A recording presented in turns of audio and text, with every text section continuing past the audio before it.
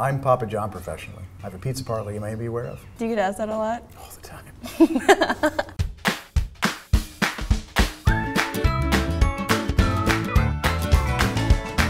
Hi, I'm John Papa, I'm Brandy Morgan. and today we're going to learn five things about React State.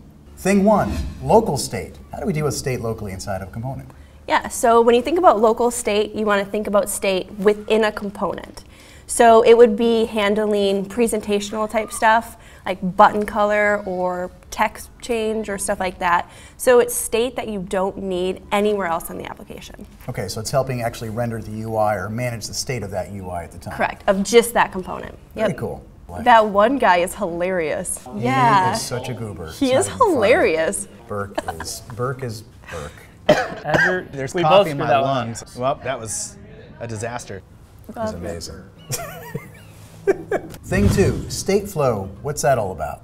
So in React, state flows from parent component to child component. So it's a downward motion, and it's being passed via props. Okay. So if we have some kind of presentational information, like is a button clicked or depressed, hopefully it's not too depressed. Yeah. we could actually transfer that state down from one parent to another child component. So if there's a state that is needed in a child component, it is going to start in the parent, and if you need any sort of modifications, those would happen in the parent, and it would be passed down to the child. Very cool. Thing three, props. You mentioned these props things. Yes. How do they fall into place? So props are what's being passed from your parent to your child. That's how you access the state of your parent container. And something to know about props is you don't ever want to modify it. Like I said before, if you want to modify state, that happens in the parent, and then it's passed as props. So it's unidirectional data flow from the parent down to the child. Yes. We don't let the child talk back to the parents. Exactly. All right. Perfect. Just like my house growing up. Those are the wind. I can, I can tell it's wind because he's got that one piece of hair that's going like. Mm-hmm. Mine never did that. I had curly hair. If it got humid, my hair just went. You ever have like an afro? No, but I did have a mullet.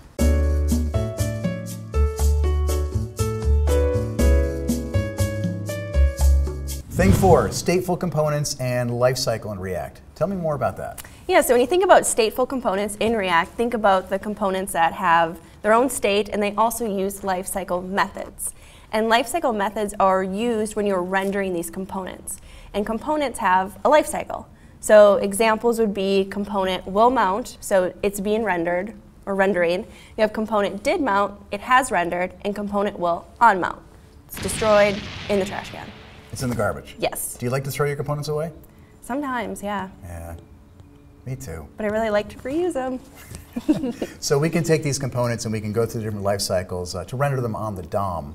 Yes. Uh, but we have full control over where that state is being interacted with. Correct. Awesome. Yep. So if you ever want to, you know, write some, you know, customized code for a specific time during when this component is being mounted, you can inside the lifecycle methods. What's your favorite life cycle event? Um, probably my most used is will mount. Why don't you like the others? I don't know. What's wrong? I don't know. I'm just a hater. Wow. Thing five, how would people get started with React in state? Yeah, so if you want to jump into React and start building, I would recommend going to reactjs.org. Awesome. Hey, Brandy, thanks for coming on. Yeah, thanks for having me. My name is John Papa, I'm Brandy Morgan. and you just learned five things about state in React.